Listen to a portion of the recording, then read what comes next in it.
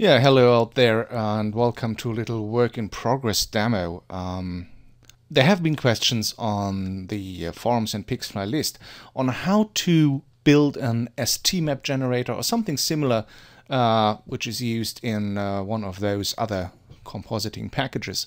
And well, this is how you would do it in Fusion. I whipped this together quite fast, so um, just to get the idea across. So what we have here is our footage of course generated in Fusion and obviously you can use whatever footage comes in. And uh, I pipe that into a change depth. I will show you later on why.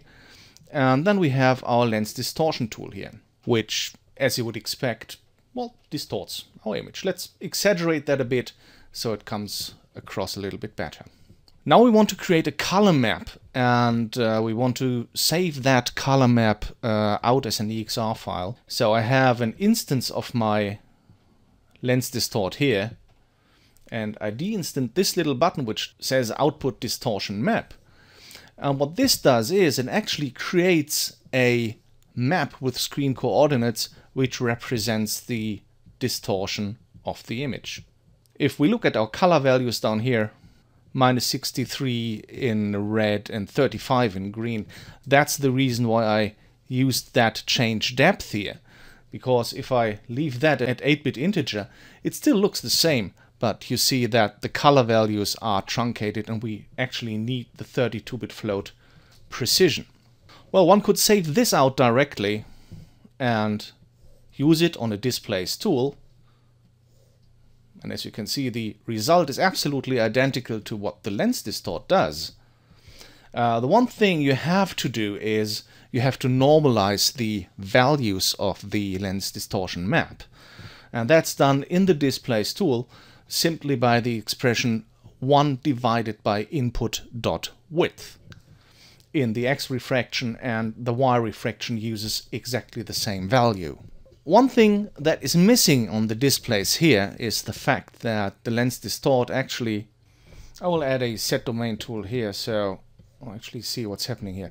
The lens distort actually expands the image.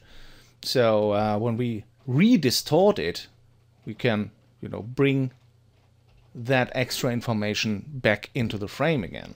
The displace doesn't do that. The displace um, actually sticks to the to the set domain we have here.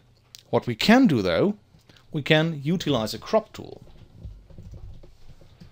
So in that case, we do auto crop here, which expands the image in this case, and it expands the incoming image as well because we have an instance here of the crop tool. And when I then use my displace, you see that I get the identical result I would get here. Eventually I will make this into a macro, um, so stay tuned for that, but just to show you how you can utilize those images.